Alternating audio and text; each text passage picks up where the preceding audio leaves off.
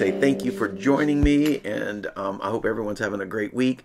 Hopefully, everyone had an incredible Thanksgiving, and uh, I know I'm trying to recover from eating too much, uh, but it's it's good. It's good. God is good. God is amazing, and um, he, he's just he's he's awesome. God is incredible. I, I want us to. Um, jump into PDJ and and what I want us to do is I, I, I titled it "Stay Focused," and um, it's something that that I believe we as Christians this this is something that we need to do. We need to not lose focus, and um, we need to stay focused of what's happening and what's going on in our lives, and and because we we live in a world of chaos. We live in a world of all kinds of things, and we live in a world that that it be, can be confusing at times that that you know what we see and, and that's why you know the scripture says that that we don't live by sight. It says it in Second corinthians 5 7 for we walk by faith not by sight. And and it's something that that we really need to stay focused on is um, our faith in our faith uh, you know in jesus christ because it's easy to to lose focus. And I see a lot of Christians. I see, I know I've done it at one time, and, and I believe that all Christians has probably done it. And, and you know, and I, I believe that it's easy to fall back on doing it again. And, and we see unbelievers and we see believers. And it's actually kind of like with in Ecclesiastes if you go through the Ecclesiastes, and you can see several things. You can see what the, the author is is really writing and what he's what's in his heart. You can see that that everything has a season, whether wealth, whether um, poverty, whether uh, you know uh, um, joy, whether you know going through a valley. You know we can see that that weeping has a season, laughing has a season. So we can see that within Ecclesiastes three. But if you read the whole book, we can see that that where the righteous and unrighteous, neither one can avoid death. Right?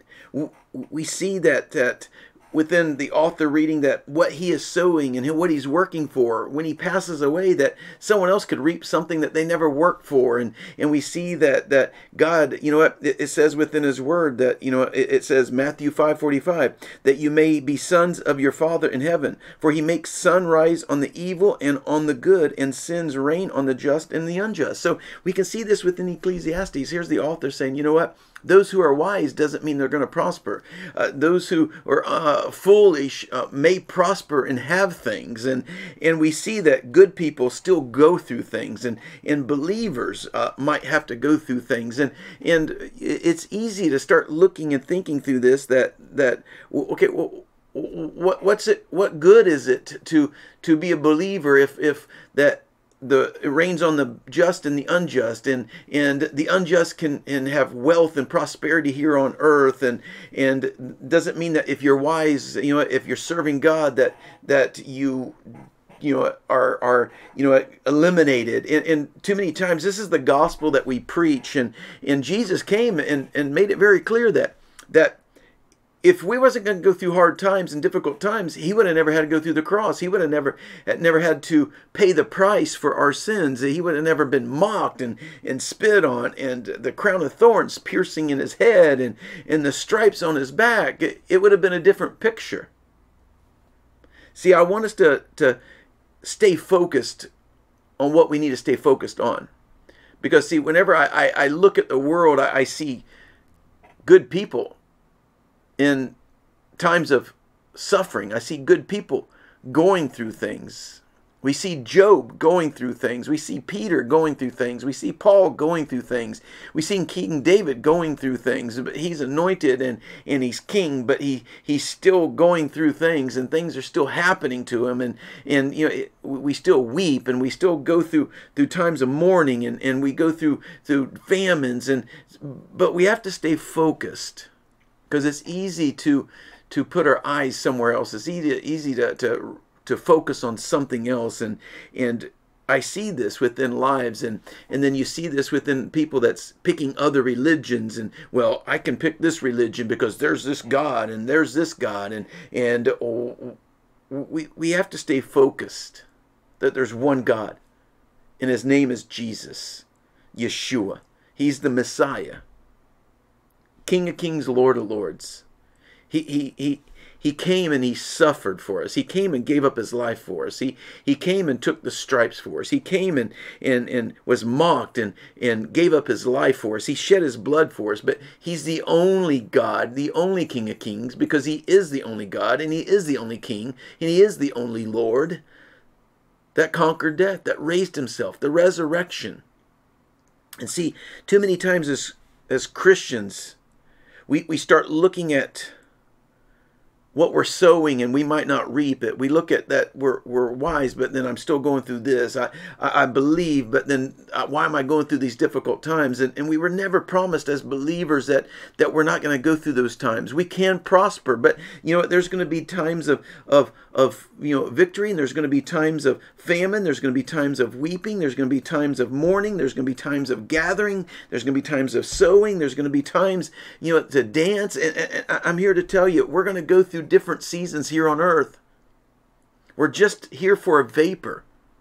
Do we understand that that this isn't our home? And i think we lose focus and we make earth our home our, our mansion and we make it heaven and it's not heaven. It's not what we get, what we receive, we can't take with us. And that's what, you know, what you can see within Ecclesiastes. And, you know, here, here, I have wealth, but I can't take it with me. I have wealth, but I, I still can't buy, buy myself, uh, you know, extra life. I'm still going to experience death. And, and what I sow and what I, I, I, I work hard in is, you know, it's going to be someone else's. And, and, you know, I, I see that the foolish people are prospering and, and I see that the, you know what, the, the evil uh, can even, I mean, they, they have wealth and, and why don't I have wealth or well, it doesn't seem right it doesn't seem real it doesn't seem like like this should be happening but we live in the midst of sin here on earth because we ate of the tree.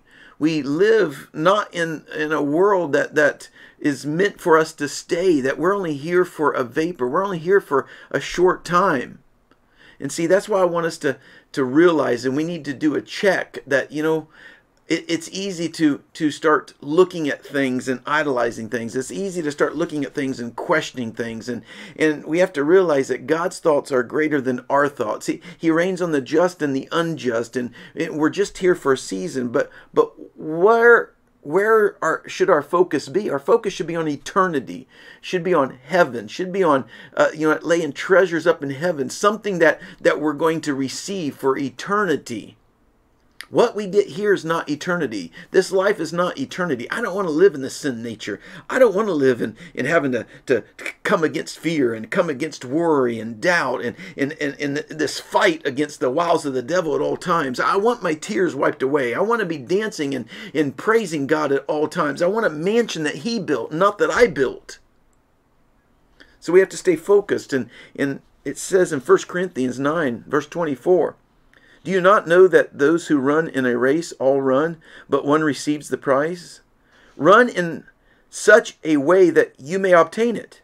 And everyone who competes for the prize is temperate in all things. Now they do it to obtain a perishable crown, but we for an imperishable crown. Therefore I run this, not with uncertainty, not with uncertainty. See, he, he's saying that, you know what? Paul's saying that I, I run this race knowing that there's eternity, knowing that, that I'm just here for a vapor, knowing that, that this is just a season.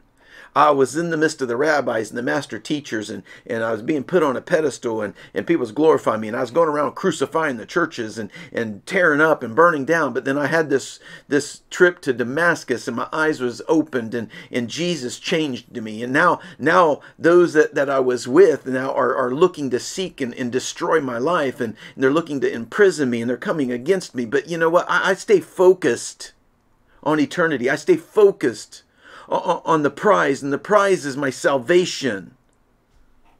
See, he continues, This I fight, not as one who beats the air, but a discipline, di, but a dis, uh, dis, discipline my body, but I discipline my body and bring it into subjection. What he's saying is, you know, I, I'm staying focused on the race. I'm staying focused on, on what the prize is, and the prize is eternity. The prize is, is salvation. Lest when I have preached to others, I myself should become disqualified. See, he, he he's he's saying there that you know I, I, I, want people saved by my preaching. I want people saved by my lifestyle, and, and I want them to see the race of eternity. And, and God forbid if, if they're not saved by my preaching, he, he's real hard on himself. And, and maybe sometimes we should be hard on ourselves and we take a look at our lifestyle that is it really leading people to, to, to win the race? Are they are we leading people to, to win the prize and to understand that we're not in competition with anyone? We just got to stay focused on our own race, but we got to teach others to stay focused on their own race.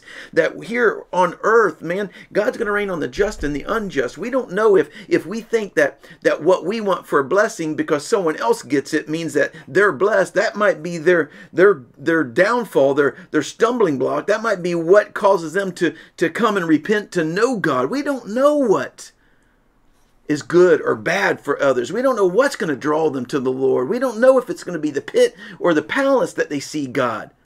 See, we got to stop focusing on on on everything that like within Ecclesiastes. You know what? The the fools are are, are seem like they're they are reigning and ruling on the earth. Man, I, I am saved and set apart. Uh, I might not have what the fool has. I might not have what what someone else that is saved has. I, I you know, I, I just got to get my eyes focused. I got to stay focused on my race. I got to stay focused that that I am saved and set apart, and and that's all it's about.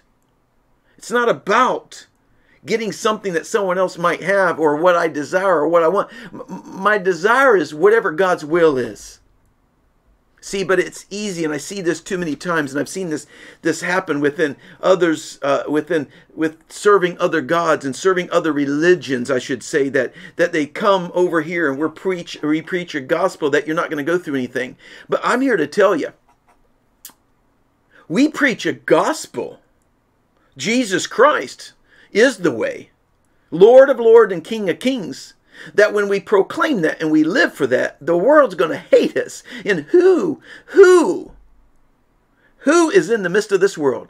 Satan himself, the devil himself, sin himself. So when we come to know the Lord, yes, we can have riches and, and we can have fruit, and but we're going to have some difficult times. We're going to have the world hating us because it hated God, you know, at first. So we have to stay focused that that through good times that we don't give our hearts to the good times. We don't give our hearts to the blessing. We have to stay focused that we're running a race, and the race is salvation. That I want to please God and I want to lay up treasures in heaven and, and I want to come and, and be in that mansion and, and I want to be like the other angels that sing holy, holy, holy at all times, bowing down to our Lord of Lords and King of Kings that saved us, that created us. And whenever we're in the bad times, we, we can't look around and say, you know what, I don't know why I'm saved because I'm going through this difficult time. Well, I'm here to tell you, Jesus Christ was saved. he wasn't saved, he's God. Amen. And I use it as a metaphor because he came down as a man and he took upon him all all the sin and all the iniquities without sin or without iniquities. He took it upon himself and paid the price. He came down and bore that and took it because we couldn't. Did he have to? Absolutely not but look at the word of God that walked here on earth. He was spit on, ridiculed, mocked. Do, do you not think that when we accept Jesus Christ, do you not think whenever I serve Jesus Christ, do you not think when I have a lifestyle pleasing to Jesus Christ, do you not think that when I exalt Jesus Christ that the world is not going to come against me? The world is going to try to throw anything and everything. But my God, my God, will be the strength of my life. My God is able to get me through all things. My God is able to make the crooked places straight. But if he chooses not to, my God will walk with me through those crooked places. My God will walk with the fiery, the fiery furnace with it, with me. My God will be in the lion's den with me. My God. See, we have to get our focus on God too many times, and, I, am telling you, I'm talking to the church right now because too many times the church, we're focused on everything else. What we can get, what we can do, uh, about riches, about things that we can't take with us. I, am all for wealth and I'm all for having things, but I, I, I'm not for those things having us. I'm not for poverty having us, and I'm not for wealth having us. Do, we, do, do you understand? Because I believe it's important that, that, that we stay focused. That whatever I have to go through, praise God. Whatever God blesses me with, praise Him. I'm going to be content in all things. We have to stay focused that, that we're just here for a season. God rains on the just, he rains on the unjust. See, that's where it comes by having faith. That we have to live by faith. It says, For we walk by faith, not by sight. And how do we build that faith? That it says in Matthew 4 4. It says, But he answered and said, It is written, Man shall not live by bread alone, but by every word that proceeds from the mouth of God. You know what that means? That means I have to have faith in the word of God that this is the word of God. This is the, the word from the King of Kings, the Lord of Lords. This is inspired. It might be written by man, but the author is Holy Spirit. That means I have to understand that Jesus Christ, he uh, raised himself from the dead. He was baptized with the Holy Spirit. He baptizes us. We we come and know Jesus Christ. Holy Spirit lives within us. That I have all power that Christ has because of Holy Spirit that lives with me. I need to stay focused that that I can come against the wiles of the devil. And you know what? The wiles of the devil wants to do? The wiles of the devil wants to destroy us, wants us to be dead, to experience death, to experience hell with him because that's where he's going to be. That's the ultimate fight, right? We're too busy fighting for things in this world that doesn't matter when we should be fighting for the things that matter our salvations, the salvation of those lost souls, uh, Christians that call themselves Christians, but they don't know God and God doesn't know them. And they're going to hear, Depart from me because I don't know you. I know you carried your Bible and I know you prayed at your meal, but I have no relationship with you. That's what we need to be focused on. We need to be focused on the real reason for this season is the birth of Christ. Jesus Christ came as King of Kings and saved his people. And all I have to do is believe. That's the difference with us. Our religion is Jesus Christ is the King of Kings. But if we want to look and live by faith through our eyes, we're going to miss it. We're going to build this place a heaven. We're going to build here on earth a heaven. We're going to build a mansion that we think we've done it. We're, we're going to pat ourselves on the back. We're going to have pride and arrogance, and we're going to go to hell and we're going to split it wide open. We need to stay focused. Focused that Jesus Christ is King of Kings, Lord of Lords. That whatever I walk through, if it's difficult and it's not getting any better, that's okay because I'm staying focused that, that I live by the Word of God. I, I eat of the Word of God. I really don't need this physical food because I have spiritual food. And I'm able to, to come against the wiles of the devil. And the wiles of the devil, do you think the devil really, you know, how many mansions has the devil given to people that sold out their heart to the devil? How many mansions have the? So you know what? I mean, it, the, the the mansion doesn't mean anything. The heart after God, confessing Him, Jesus Christ as Lord and Savior, is everything. Because the devil could put you in poverty, the devil could put you in wealth. But God can rain on the just and the unjust with wealth or poverty to move them, to, for Him to be, be, be glorified in their lives. See, God tests too. But see, we have a, an adversary that's out here trying to destroy God's people that's trying to keep the unbelievers as as unbelievers. Because you know why, why should I serve a God and you're driving a 2007 Honda you know Civic that has almost 200,000 miles on it? You're not blessed with a Mercedes. You're not blessed with a Yukon Denali. You're not blessed with a multi-million but you know what? You, you're not living by faith in Jesus Christ. Because it says in Hebrews 11, now faith is the substance of things hoped for, the evidence of things not seen. I don't see my treasures in heaven, but I know they're there. I don't see my mansion that's built, but I know it's there because I know that Jesus Christ came and died for me, that I'm saved and set apart. And that's what matters. Whether I'm dwelling in a tent here, whether I'm dwelling in this home here, whether I'm dwelling in a cardboard box under the bridge, or whether I'm dwelling in a multi million dollar mansion, you have to know that Jesus Christ is your Lord and Savior. You need a relationship with Jesus. That's the race that we're running. It's not anything of this world. Let's get our eyes off of these things of the world. Let's get our eyes. As a Christian, you're going to go through some things. You're going to go through some difficulties. It's not always going to be good. Just as as the the author of Ecclesiastes, know, it's going to be kind of confusing if we look at the world because I see the fool prospering. I, I see a thief prospering, and I see the wise not. I see a man of God. You're going through some difficult times, but the the unbelievers are not going through these difficult times. Uh, it's easy, but you know what? We have to stay focused. Jesus Christ. Jesus Christ. See, when we stay focused and content, we know that it's all about Him. Look at the disciples. But what a great example of the disciples. They were business owners, right? Some of them were. Some was a doctor. Some was a tax collector. Some of them, you know, they they were doing pretty good, weren't they? Paul was doing pretty good. What happened whenever they decided to follow Jesus? Some prospered, but some didn't. They prospered spiritually. They grew. They knew Jesus because they were focused on salvation. They were focused on eternity. Do you see? Do you see through the Bible? See, we want to pick the things that that you know that matter here on earth.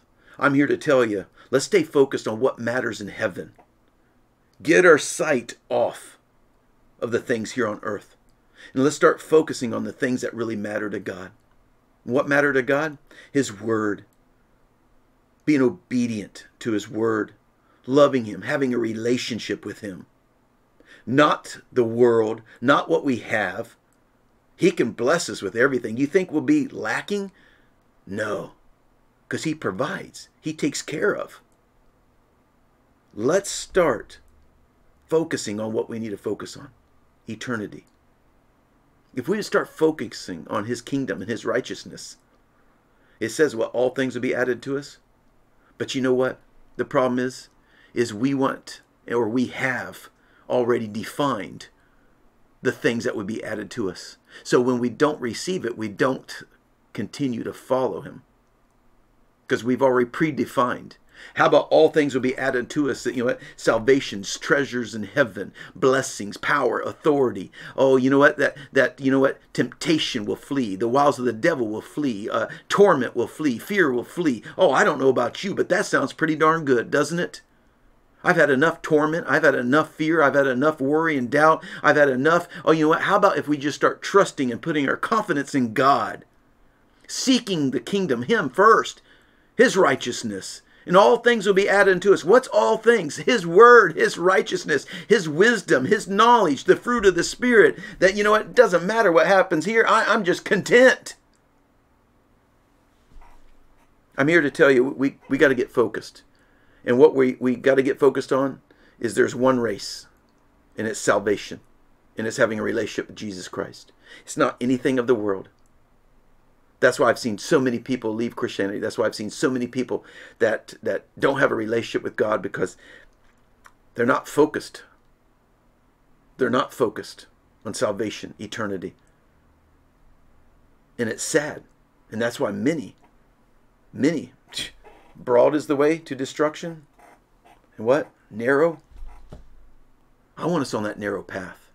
It says in Hebrews 12 2, looking unto Jesus, the author and the finisher of our faith, who for the joy that was set before him endured the cross, despising the shame, and has sat down at the right hand of the throne of God. I'm going to close with that. Because if you didn't get what it said, I'm going to try to explain it, but you need to read it. A king of kings, the Lord of lords, came off the throne, birthed by a virgin. We celebrate. This is the season. The reason for the season, it's not Santa Claus, it's Jesus Christ. There's no such thing as Santa Claus. There's no flying reindeer. Only flying reindeer is if you put it in a slingshot and shoot it across the field. That's it. I'm just being honest because we need the truth. Because salvation's everything. I need kids growing up believing in Jesus Christ, not not not some some red you know dressed outfit, heavy set, obese guy that that has a white beard, probably has lunch in it from the day before, that lives in, in a place in, in no man's land and, and, and drives around with a bunch of deer. I'm sorry, I don't mean to you know to just rain upon someone's Christmas beliefs, but I'm here to tell you the truth because we got to get focused.